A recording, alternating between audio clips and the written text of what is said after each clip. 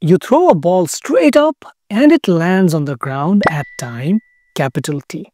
But what was its height at another time instant t? This is an actual IB Physics past paper question. You'll find it linked below and a challenge bonus too. Subscribe if you want to master IB Physics with clarity. Here's what the question is asking. You throw a ball straight up, it lands on the ground at time capital T. We are interested to find its height at a time instant t. The options are given and these are the SUVAT equations which you might need to figure this out. You can pause it here and try it on your own. Alright, let's try this problem together. We are interested in finding the displacement at time t. And these are the SUVAT equations that you'll find in your data booklet. But which equation should we choose? Well, since we are interested in displacement given the time t, I should choose equation 3 because it has displacement and it has time. What about the acceleration? Acceleration is simply the acceleration due to gravity.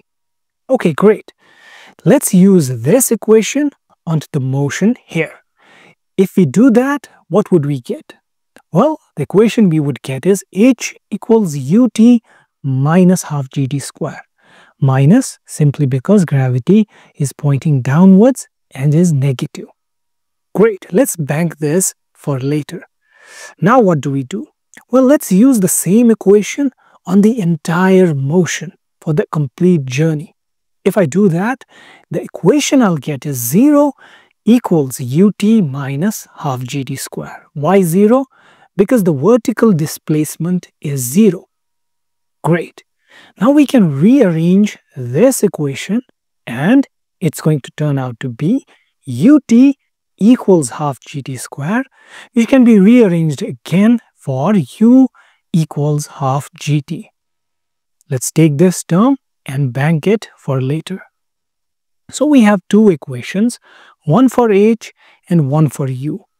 I would want to substitute the value of u in the second equation into the first. If I do that, the equation I'll get is h equals half gt t minus half gt square. This can be rearranged into this particular form. And that is the equation we were after. And that completely solves the problem. If you found this video helpful, subscribe.